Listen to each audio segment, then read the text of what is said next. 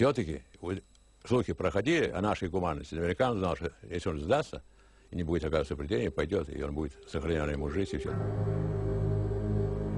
Remnants of the German Ninth Army near Halbe, filmed by Soviet cameramen.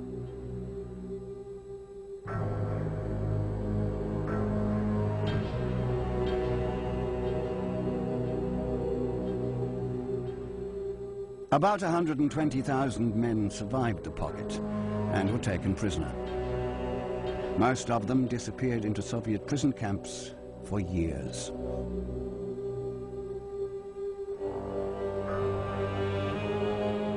Под Москвой мы тоже брали пленных.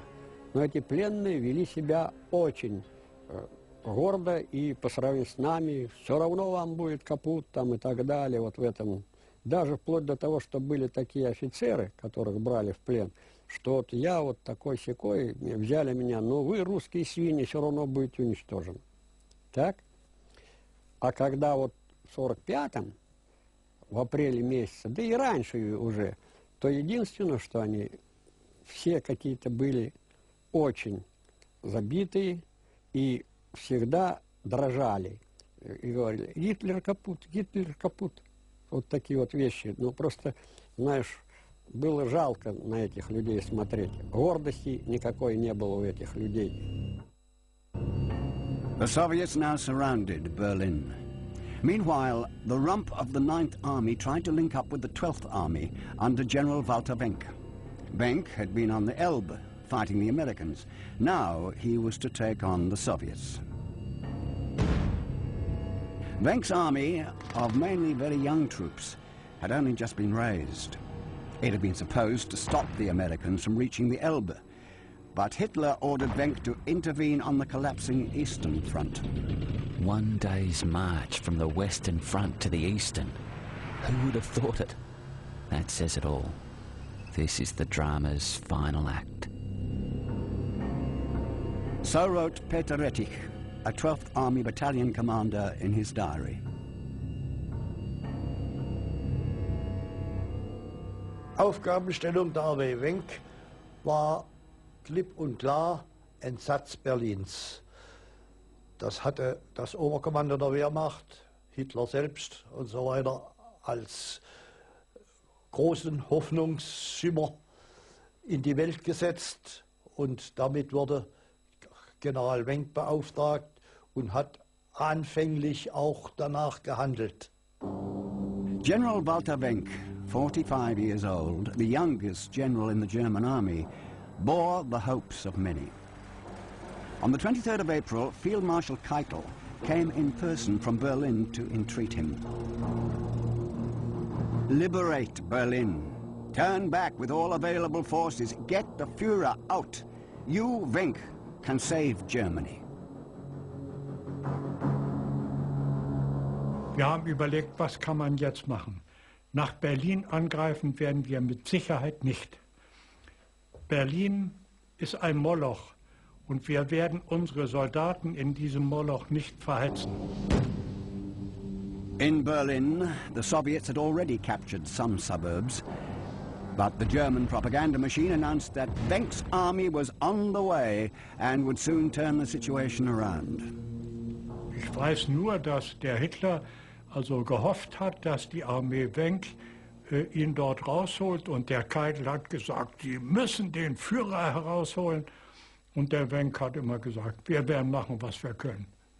Und dann ist der Keitel noch zu unterstellten Truppen gefahren, sodass wir noch den Leuten sagen mussten, hört nicht auf den Keitel, nur Wenck gibt hier Befehle. In those hours it became clear to me, wrote Wenck after the war, that Keitel and Hitler had long been ignorant of the true state of the war. We could never have liberated Berlin, but we could help countless people by making a concerted attack and opening up a way to the west for them. It was not entirely out of the question that with such a push, the Ninth Army could be rescued from the pocket.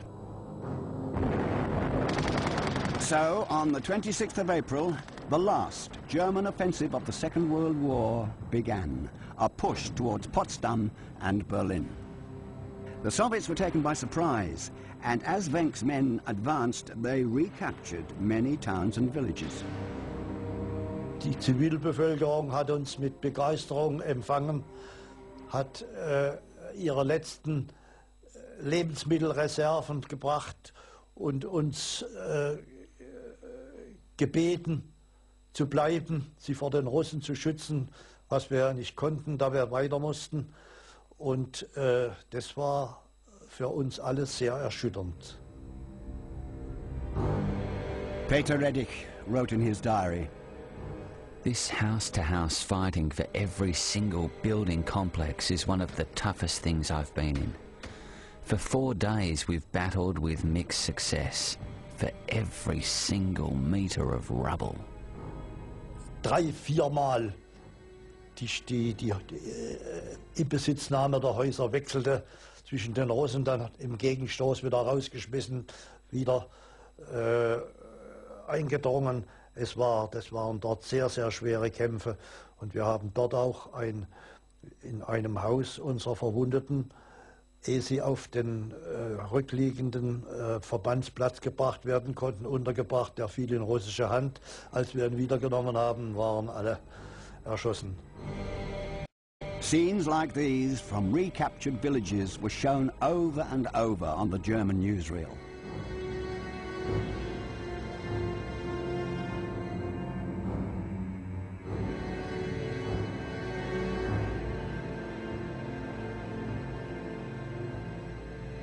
Wir haben die Bilder des Grauens da gesehen, äh, die Frauen, die verstümmelten Leichen und das hat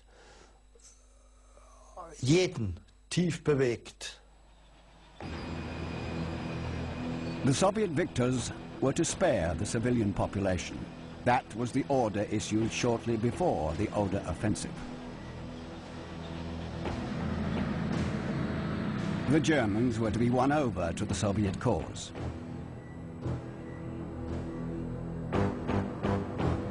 But the message did not get through to everyone. Soviet anti-tank man Umar Bukhanov Мне было 21, 22. А он-то 40 лет, наш самый стариком мы считались. Так. Привел этого.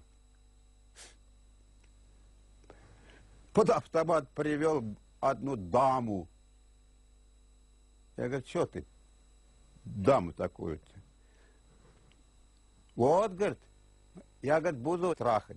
Ну, слушай, я говорю, ты же старик, а она молоденькая, так какая была, может, 30 черт, она такая интересная, так. А что, говорит, а мне нельзя, что ли, говорит? Ну, я, говорит, отпусти, я говорю. Сам, говорит, я, говорю, ты не только старик, ты, ты некрасивый, я говорю, ты, ты.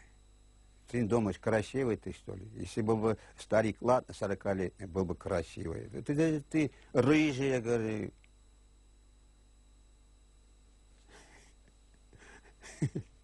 Я неправильно сказал, наверное. На свинью похож, да? Нехороший, что-то такое. А, а она плачет, я говорю, так. Буду и все. Ну, короче говоря, я ее прогнал. Да, офицера больно трахает, а солдату нельзя, вот начал. Я говорю, иди, иди, иди. Я говорю, там есть стариш, старушка, есть, по-моему, где-то там. Найди. Я говорю, нельзя этого. А это стоит, и ты кап-кап плачет. А мне ее жалко. Bukhanov took the woman to safety. She wasn't harmed.